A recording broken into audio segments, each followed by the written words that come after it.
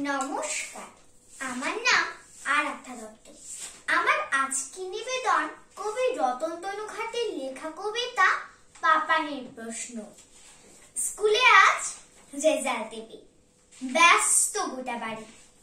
খাঁচার পোষা ময়নাটাও করেনি আজ আড়ি করতে বেশি রান্নাঘরে। বকুল মাসি ছাদে গৃহস্থলীর সমস্ত কাজ জরুরি সংবাদে। অফিস থেকে বাবার ফোনে জড়িয়ে আছে ভয়। মা দাঁড়িয়ে রঙিন ছাতায় দুই পাশে সংসার।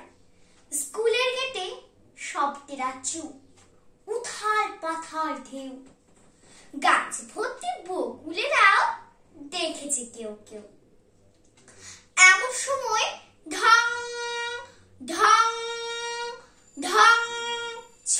ছড়িয়ে ছুটি।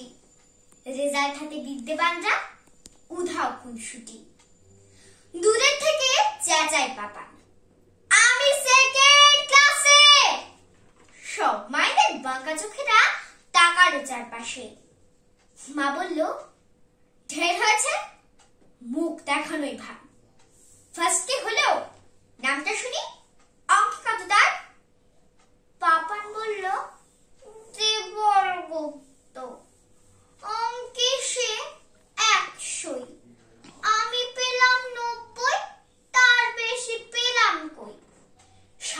দিন খেলে শুধু সব স্বপ্নে আধার হলো চাঁদের গ্রহণ লেগে। চল বাড়িতে, দেখাচ্ছি আজ খেলার কি যে মানে। দেবল হলো চাঁদের টুকরো, সব বাইটা জানে। তখনও পাপানো ভয়ের দুঃখে টাকালো মায়ের দিকে। ও যে ভীষণ মিথ্যে বলে ক্লাসের আন্টিকে। বলুক, তাতে দোষ কিছু নেই ফার্স্ট হয়েছে ক্লাসে। মায়ের কথায় পাপান শোনার দু ছেপে আসে।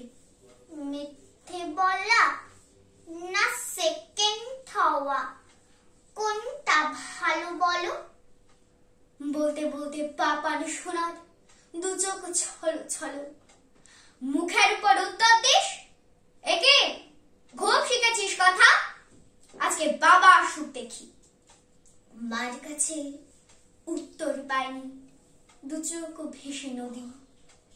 ছোট্ট পাপানো মঞ্চে উঠে প্রশ্ন করে যদি? বলুন সবাই! মঞ্চে পাপান মুখখানি যে কান সেকেন্ড হওয়া নাকি মিথ্যে বলা? কোনটা বেশি ভালো? সেকেন্ড হওয়া নাকি মিথ্যে বলা কোনটা বেশি ভালো? নমস্কার।